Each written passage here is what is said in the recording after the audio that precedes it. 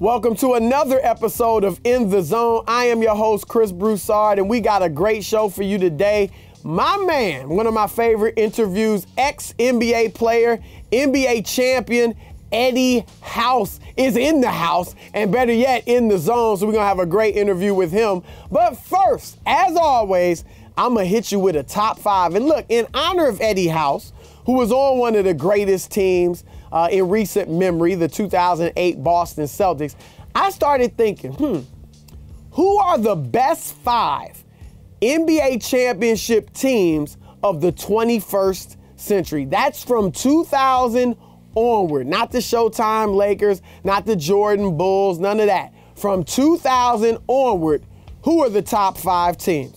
Here you go. At number five, the Miami Heat 2013. LeBron James, Dwyane Wade, Chris Bosh went on a 27 game win streak and edged the San Antonio Spurs in the seven game series to win their second title. Now, you might be saying, number five, why so low? Well, here's the deal. Let's face it, they weren't a great fit. They had great players. LeBron is superb. Dwyane Wade's an all time great player. Chris Bosh will probably be a Hall of Famer. But they didn't fit together that well. I mean, you didn't get the best of each one of them. Dwyane Wade had to kind of back up and let LeBron run the show and be 80% of the player he really was. Chris Bosh, heck, he became a glorified role player. 16 points, six rebounds a game. That's it. So, and remember, they barely edged an older Spurs team. Ray Allen's miraculous three point shot at the end of game six saved them and allowed them to go on in game seven. Great performance by LeBron and win that second title. So at number five, Miami Heat 2013. At number four, the San Antonio Spurs of 2007. You might have thought I was going to say 2014 when they ran through Miami, but here's why I didn't. In 2007, Tim Duncan, Manu Ginobili, and Tony Parker were all in their prime. So they had to be better than the 2014 team because those three players were older. Duncan was virtually a shell of his former self in 2014. Look, in 2007, they swept LeBron James and the Cleveland Cavaliers. And I know everybody wants to say, oh, that Cavs team wasn't any good. All they had was LeBron. But look, that Cavs team had beaten a very good Detroit Pistons team. One they had won a championship, still had Chauncey Billups, Rip Hamilton, uh, Rasheed Wallace, and had added Chris Webber and Antonio McDyess. The Cavs took them out in six, and yet the Spurs just swept them. So that is the fourth best team of the 21st century, 2007 San Antonio Spurs. At number three, Eddie House's Boston Celtics 2008. That's probably the first time they ever been called Eddie House's team, but I want to give my man some love. Of course, they had the big three Kevin Garnett, Ray Allen, Paul Pierce. Put it together right away, won the championship in their first year. Those three Hall of Famers fit perfectly. You had three Hall of Famers in their prime who were all willing to sacrifice to win a championship. KG was the defensive force. Paul Pierce was the slasher, the guy they tended to go to in the clutch. And Ray Allen, of course, tremendous shooter. Then you had the perfect point guard for a team with three big time scores, and that was Rajon Rondo, who didn't want to shoot, didn't look to shoot, just fed the big guys and let them go to work. That was a tremendous team. Don't sleep on the 2008 Boston Celtics. At number two, 2017 Golden State Warriors. I know you thought they might be number one, but don't be a prisoner of the moment. 2017 Warriors were a great team with Kevin Durant and Steph Curry, and of course, Klay Thompson, Draymond Green, and the rest of the crew. Third most efficient, third highest rated offense of all time. Absolutely ran through the entire playoffs. 12 0 in the West. 4 1 over the Cavaliers in the finals, 16 and 1 overall. Can't mess with them. Let's see if they become a dynasty. They're not a dynasty yet. You better slow down with that. They haven't even gone back to back yet, but they have a chance to become a dynasty. So let's see if they do it. But they're number two right now in the 21st century. And at number one, you should know it, that leaves the Shaq Kobe Lakers. That's right. Nobody would have been able to deal with Shaq on this list. no other team could have handled him. And that was the what year do I pick though? They three-peated. 2000, 2001, 2002. I'm gonna go with the 2001 Shaq Kobe Lakers. Shaq was at the height of his powers, and so was Kobe. They ran through the Western Conference playoffs, undefeated, then got to the final. Let me let me back up. Let me tell you about some of the teams that they waxed in that year. Portland swept them in the first round. That was a Portland team that had Rasheed Wallace, Scottie Pippen, and Steve Smith. And Damon Stoudamire actually had a good year that year as well. Then they swept the Sacramento Kings of Chris Webber, Peja Stojakovic, and Vlade Divac. That was a good team that had given them all types of problems in the years past, and they swept them. Then they took it to the next level against those San Antonio Spurs. Tim Duncan smack dab in the middle of his prime. David Robinson, not quite in his prime, but still a top center in the league, and they just ran through those San Antonio Spurs. Then they got hold of the Philadelphia 76ers in the finals. The Sixers did end up getting the game thanks to the greatness of Allen Iverson, but it never really was a series. The Shaq Kobe Lakers of 2001, the team of the 21st century thus far. All right, here we are with my man Eddie House, man. It's What's always happening? good to have you back here in the Fox studios, man, especially on In the Zone. Look, I just did my top five that I do every week. I did it on my top five NBA champions of the 21st century. And you were on one of the great teams, 2008 Celtics. I had them number three behind the Shaq Kobe Lakers.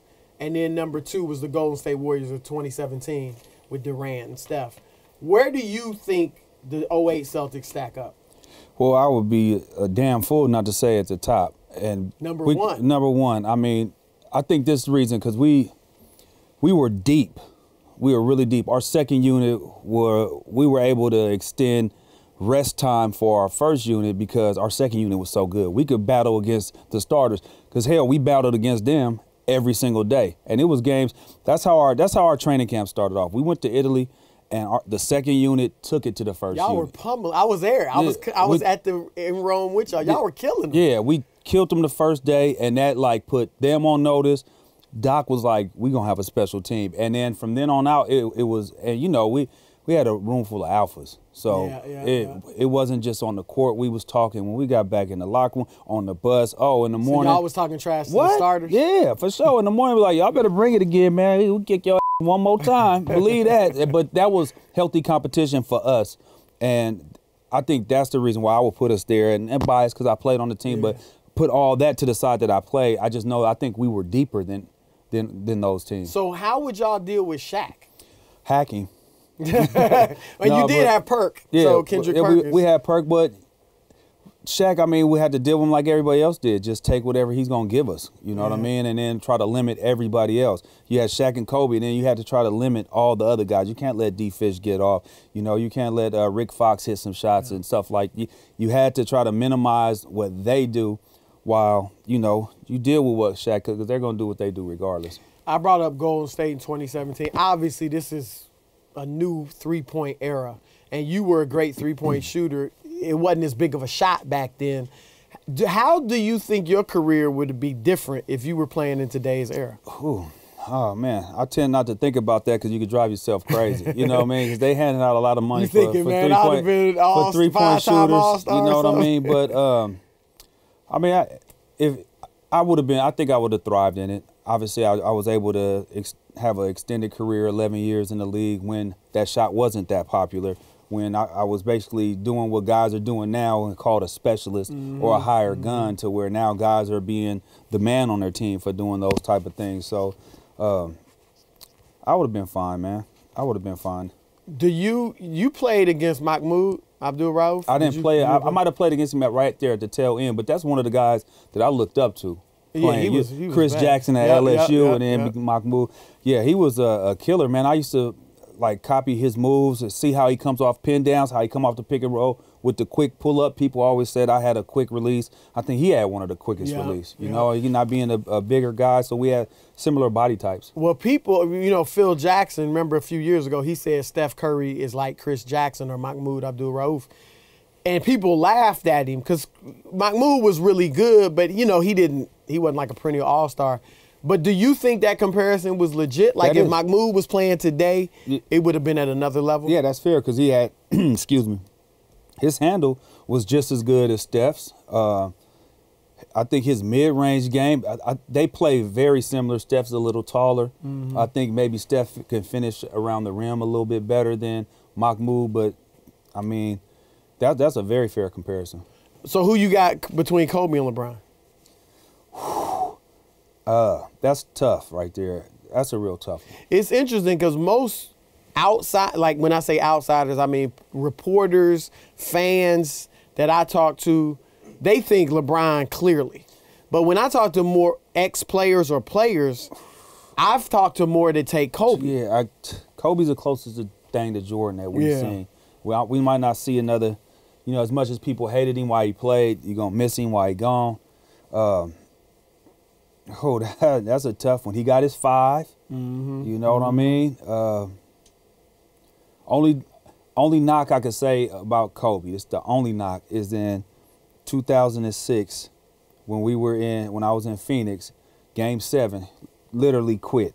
Li- like that was Yeah, a yeah, quit. that's right. Didn't take no shots the whole second half. Basically, it was a point he was trying to prove. Like, okay, you Because it was all everybody was like, you complaining. shooting too much. He's Exactly. like, oh, you think I'm shooting? Oh, I won't shoot at all then. But that was at the sacrifice of his whole team. And you know, And leaders they had y'all.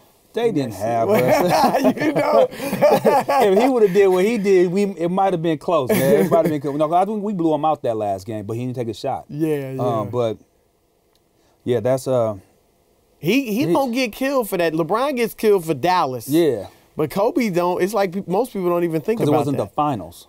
yeah. That was the first round. It was one game too. It was the first Whereas- round. Yeah, yeah. You know what I'm They saying? were up. Were they up three one? I think they were. They had y'all. Man. Yeah. You know they had y'all. Yeah. Now teammates. Uh, let's switch gears.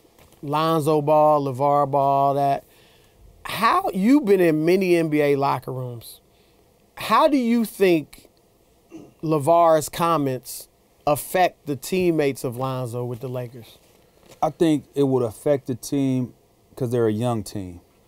You know what I mean? If they were a team full of vets, I think it would have been shut down. Uh, and not only shut, not like saying that they would shut LaVar up, but just it would just be shut down. Like, hey, this ain't an issue. As long as he come in and ball out and do what he do, we don't care what his dad say. As long as his dad ain't talking about nobody inside this circle right here, talking bad about him, we he could say whatever he wants. He Okay. can have his own thoughts, but within this circle, if he doesn't attack anybody within this circle, we could. So when people say it's got to be hurting the locker room and all that, Well, that's if they're you- young. Like okay. that, that's a young locker room, so it could be bothering them. They could, it could be a distraction to these kids who just coming out of high school. I mean, uh, excuse me, coming one year out of college, Mm-hmm. not far removed from high school, or even a young Kyle Kuzma who who played, Yeah, you know, some yeah. years in college, but that could still wear on you if you're a young player and you don't have vets to pull you to the side and and kind of school you.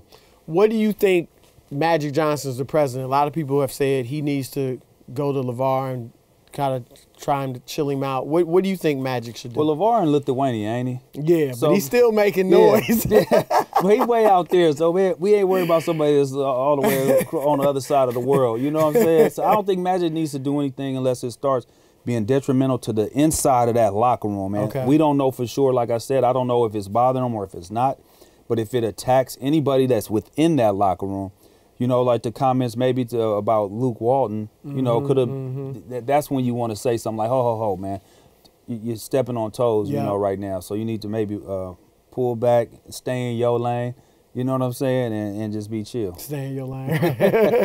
you know, LeBron. Do you think that LaVar's president's presence and just his bluster and all that will be a deterrent to LeBron going to the Lakers? I don't think that if LeBron want to go to Lakers, he gonna go. But again, I don't think that would be the best play to, place to go. Mm-hmm. I mean, even if you do add a Paul George, you still got a bunch of young kids over there that Yeah. you're gonna be playing with, Yeah. and that's just not gonna get it done in the NBA. you, of course, that 08 Celtics team, Paul Pierce, Ray Allen.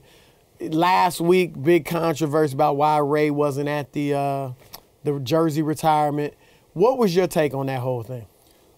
Well, starting where it where it started from, where the whole problem began. Yeah, you can go through. You can go. Well, there, the whole problem begins when Ray wanted to go to Miami. Yeah. Didn't pick up the phone and say, "Hey guys," and I mean I've heard this from uh, uh, numerous guys that that's basically what it was. They felt like uh, brother betrayed them. That that was that's the real gripe. And I see it through their eyes, but also see it through Ray's eyes, where he, he doesn't have to tell anybody what his next move Yeah. is. You know, he he's his own man, and but from from that, that's where all this created has been created, and it would be nice just to see them, you know, bury the hatchet and just, you know, may go out to dinner one time and just talk it out. You know, Well, what I it mean? seemed like Paul and Ray have kind of done that to some degree, but not the not with Rondo and ticket. and yeah, yeah, yeah. no, I, I, yeah. Well, you know, KG Rondo, they really well, all of them are. Everybody's really close, but I just think that I would like them to see bury the hatchet because if we ever have a, a reunion where all of us come, how is he not going to be a part of that? And Mm-hmm. then when he's there, how is he not going to be interacting? You know, just clicked up. With that ain't how we were. We wasn't clicked up. We was a team through and through. We we did everything together. If it was gambling on the plane, if, um, if it was going out to eat, if it was Halloween parties, Christmas parties, we did everything together. So that would be kind of uh, that that would be weird. So I'm hoping that they could, you know, mend all whatever wounds that they have and make it better. it was always a lot of talk about Rondo butting heads with Doc and all that. What was the genesis of that stuff? Well, well, you got a, a headstrong point guard and a headstrong head coach, Mm-hmm. and at times they just it would be like that sometimes. You know, I'd be having to Rondo, chill out, man. I'm can I say that? We'll my, beep my, it, my yeah. bad. my bad. But uh, yeah, he'll be like, man, you know, forget him, man. I I ain't tripping off him, so I stunting off him. I'd be like, nah, man, that's our coach. Let's Yeah. he trying to he want the best for you. That's all it is. Let's try to lock back in so we can get our work done. But that's healthy though. You know, what I mean, those are healthy butts of the head. It was nothing that ever festered and stayed around. It was all for the greater good for the team. Was Rondo even like that? His because the year y'all won it, that was just his second year. Remember, everybody thought that was going to be a weakness at Right. point guard. Was he that headstrong even then when he wasn't really known? Yeah, well, the thing is, uh, quiet dude. If you don't know him, really, but then if you know him, you know is you could. T- he's very competitive. Everything he does. So that that was uh, he, Rondo on the team. He was he was he was like that, but he got more as he was a bigger part year in and year out. He got more and more of the leader, you know, because he's basically, you know, at, at the helm. He's like the quarterback. So Yep. the more confidence he got, the more confidence other guys have in him, the more he was like locked in. And you know, all the good ones are ass.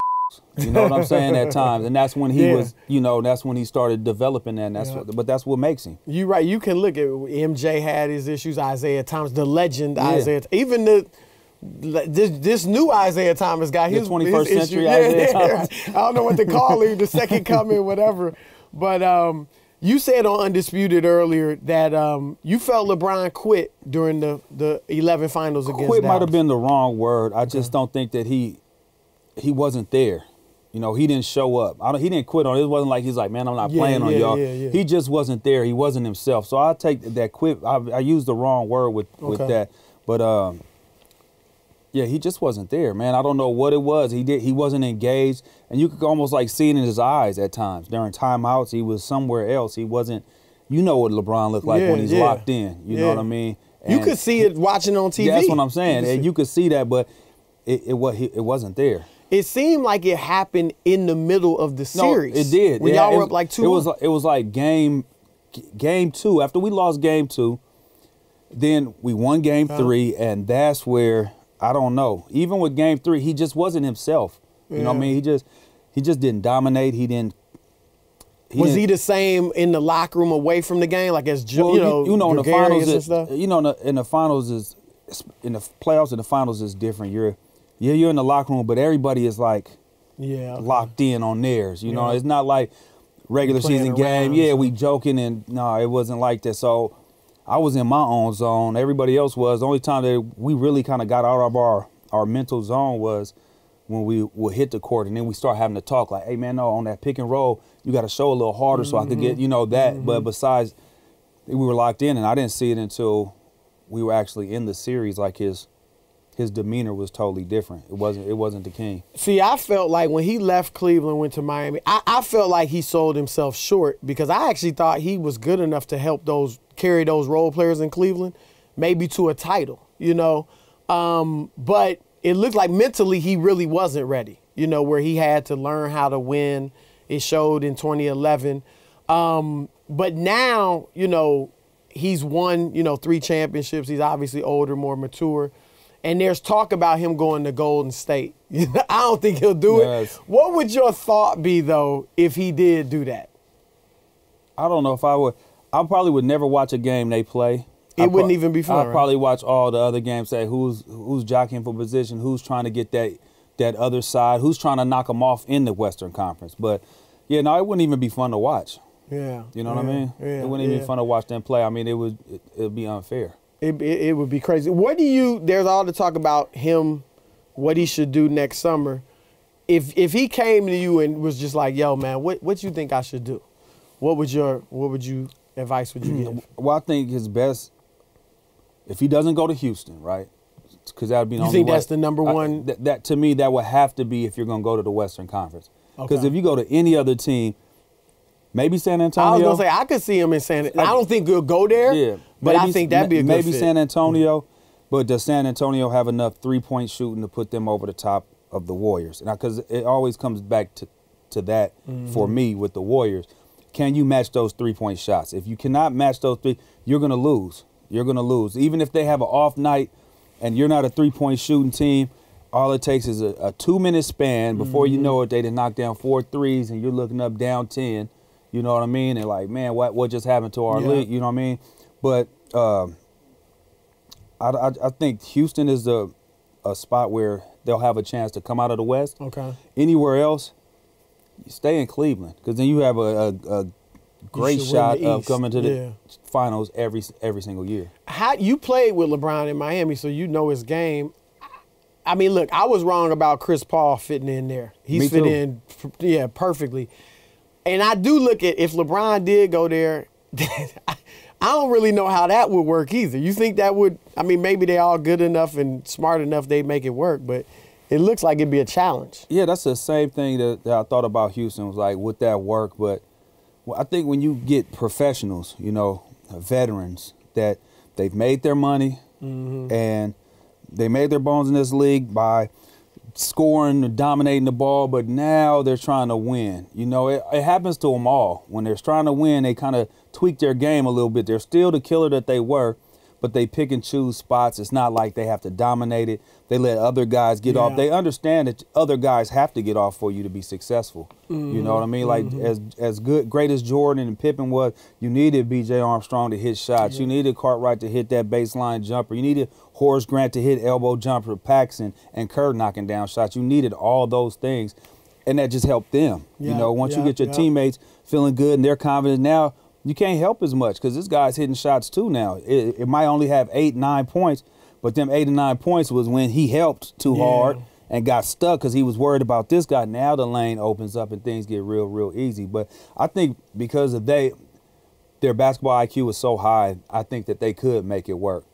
And I think that would be the only, that to me, the legitimate spot there where they would have a chance to come out the West. Besides that, man, stay in the East and go to as many finals as you can and try because you can't win it unless you in it. Mm-hmm. Yeah. You know, you don't Yeah. want to go somewhere and you like he goes to the Lakers or he go to the Clippers and gets put out in the second round. Like, what does that do to his legacy? Yeah, Then yeah. then you think they hate you think they're talking bad on him now.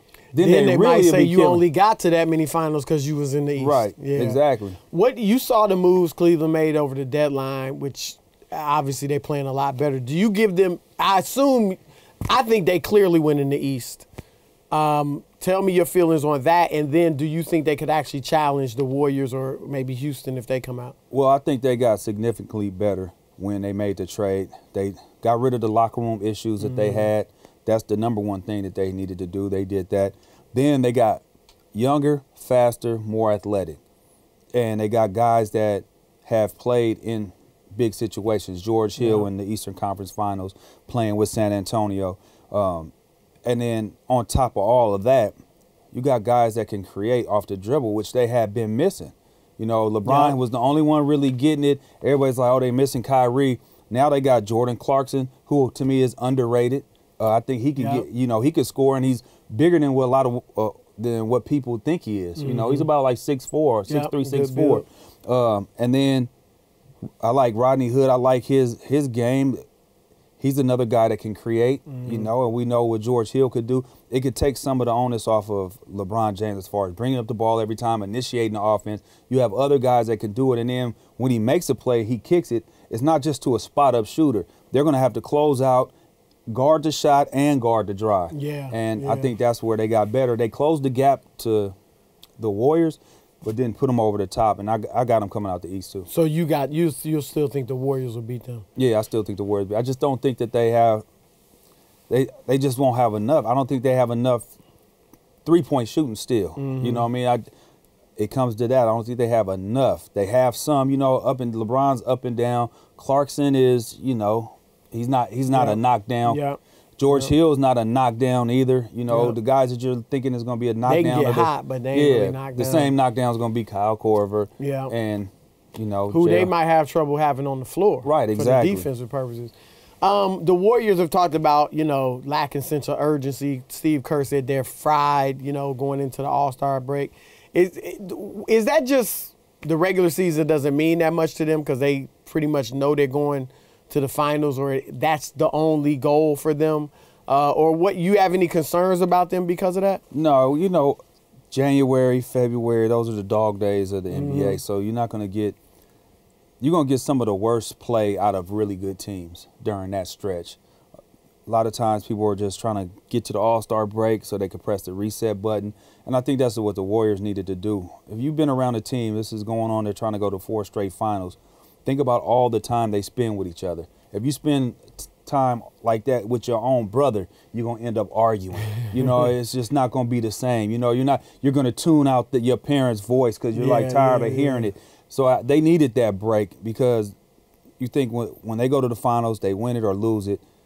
Then they have like two months off, two three months off, actually like two months, and a lot of them go overseas and do all this. So there Yeah, it's yeah, constant yeah, yeah. basketball. They never have an opportunity to just take a deep breath, relax, think about just family, their self for a little bit, and then get back to basketball. It's like nonstop basketball, and it could be overload. But they understand that with these last 24 games, what they're going to try to do is just get their defense back on track, and then start playing for each other again. eh, Because I think that's the one thing that, that they lack this year is not being as good of a defensive team Mm-hmm. as they've been, and they've been turning the ball over a lot. Now you played for Mike D'Antoni. Yep.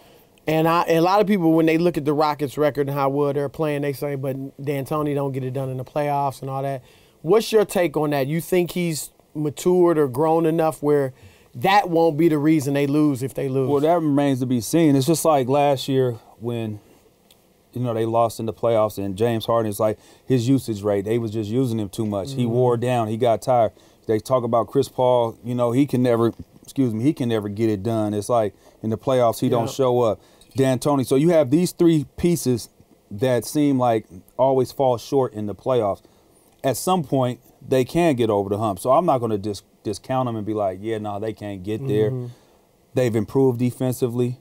You know, they uh, they're efficient as hell on offense, and if they continue to do that, they definitely can give the a run. I don't think the the, the way I don't think the lights are too bright. You know what I Okay. mean? They can't be yeah, too bright. That's yeah. they're too good. You know what I mean? Yep.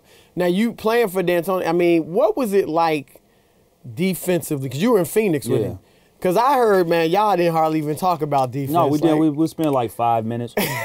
How different is that from every other like good team you were on? Well, uh, night and day. You know, you, most of our clips when you're on good teams, you take your defensive breakdowns first. You're watching all of your defensive mistakes and you're breaking that down, and that that's going to take more time than your offensive clips. Offensive clips is more about spacing, uh, movement, moving the ball, seeing what you're supposed to be seeing. As defense is like, okay, your job is this. You need to make sure that we're, we can't. If we do it this way, this was has to happen. Okay. You cannot allow to get split. If we're gonna blitz the uh, pick and roll, big man, you can't get split. Yeah, you know what I mean? It's like those type of things. But uh, when I was in Phoenix, we, we spent Mark, Marc Iavaroni was our, our defensive coach, and we would spend minimal time. Jimmy Jackson to tell you that minimal time on defense and all time on offense. But I don't think that we also had those type of defensive players. We had offensive players, guys that just was going out there scoring. You know, we didn't have any lockdown. Raja Bell probably was the only lockdown a good defender that we had. On but the, on the but squad. is it so? Is it? Do you think though, if y'all had emphasized it, y'all would could have been better on defense? Yeah, of course. We- We're we're pros. You know, if Yeah. if, if we were, it wasn't a, a point of emphasis day in and day out. The point of emphasis was we got to get these points up. We're gonna outscore everybody. So that was more so uh, of the mindset of our team was we coming in, we're gonna outscore, we're gonna get it up as fast as we can, we're gonna get up more shots, and and and that's that. That we, we- must have we felt gotta like get, heaven. Oh man, what?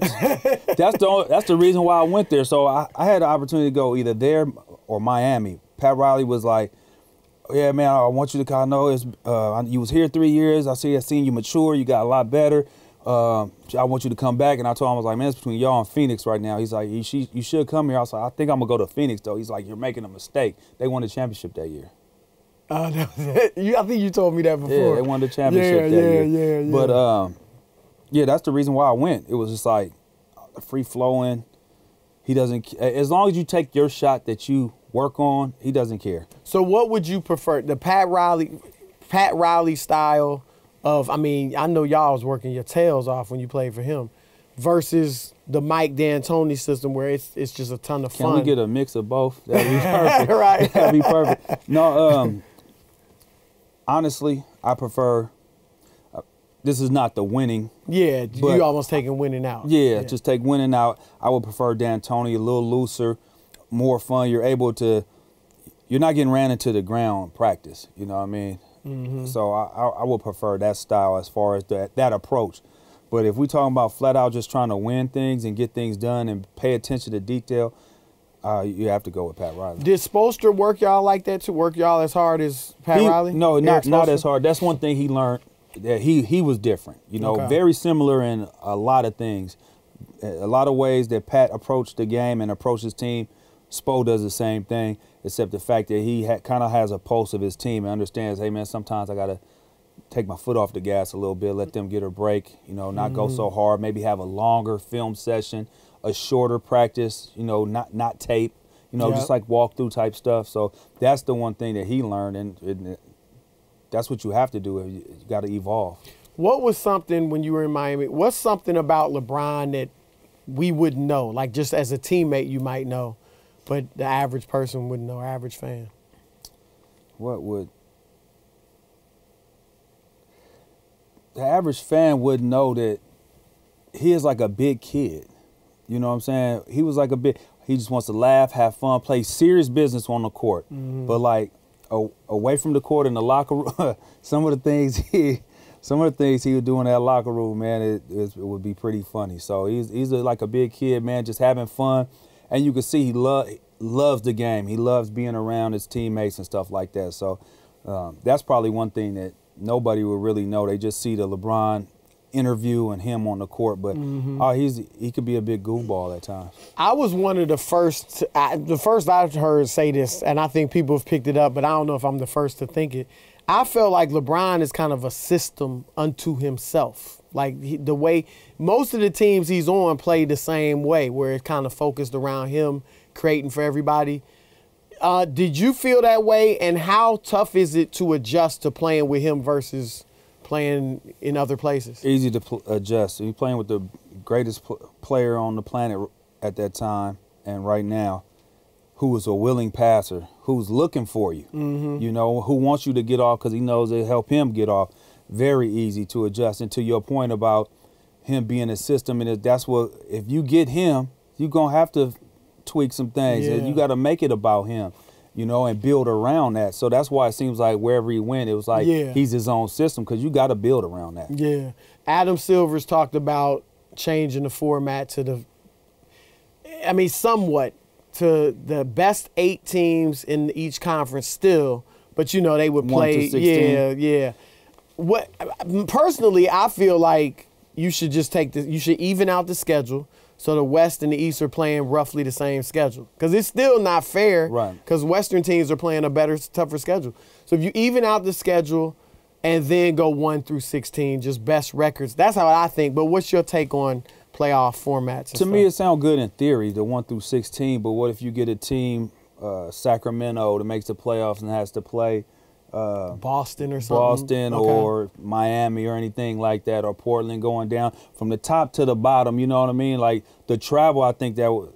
That's where the Would problems. that be a big deal? I mean, y'all travel all the time. Yeah, but not, but it's not like that though. You know what I mean? It's not like across country. You know what I'm saying? In in a series, because Mm-hmm. Yeah, it's one, gonna, one, one, Yeah, you know what I'm saying. So there'll be there'll be a lot of travel right there. Yeah. So you just like like And plus, keep- there's day there's no days off, and it's certain.